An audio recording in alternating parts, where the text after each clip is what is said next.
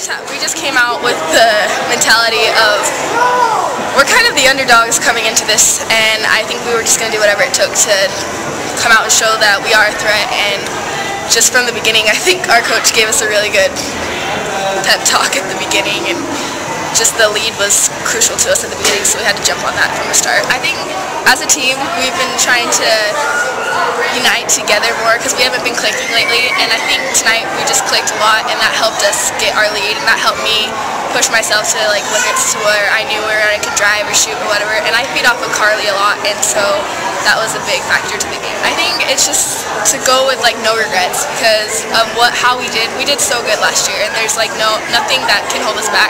And I just think that she was just letting us know that there's really nothing that can beat us in the state tournament that besides ourselves. And we're just gonna go out there and show ourselves. Carly, she's a really big player to our team. Um, we both feed off of each other, and um, I don't know.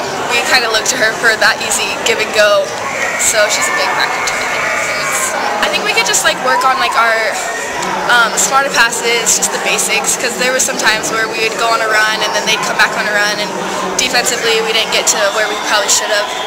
But um, I know Salem Hills has some big girls and East has some really quick girls, so um, just keeping our pace throughout the whole game is just going to get us going.